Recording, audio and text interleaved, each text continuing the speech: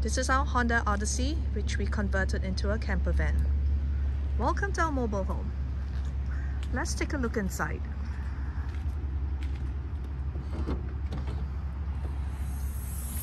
Say hello to Miss Ellie, our little schnauzer.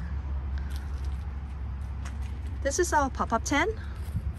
And this is our cooler box.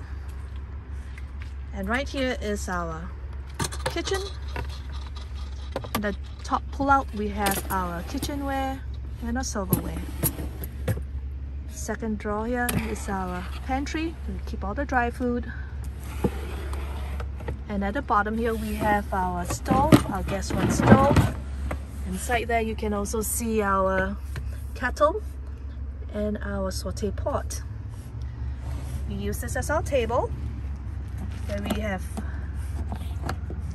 our butane and propane gas stove which we can use for cooking. And this is our sink with running water.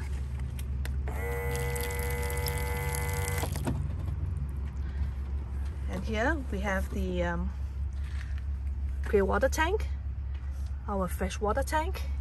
We also have a spray bottle here which we can use for washing up. Hi Ellie. We have a box shelf here which we can use to put all our seasonings and that's our Dr.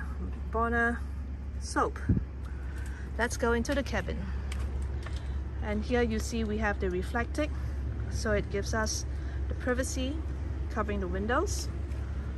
You can see on the inside here where we have this window is covered with the Reflectix.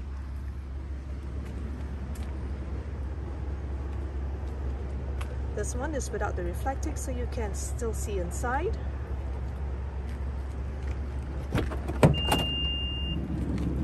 Hey Ali! And we have a 4 inch um, mattress. Take a look inside our cabin. We have the fairy lights up there and also a USB charge fan. We have two fans. This cabin sleeps two people. We have the blackout curtains, which we draw in the night for privacy. Underneath the bed, we have our storage space. This is our pull-out storage bin, which we put all our clothes in. And we will put our shoes in here. Inside there, you can see we have our camper chairs. So, this is our camper van. Ali, say bye-bye.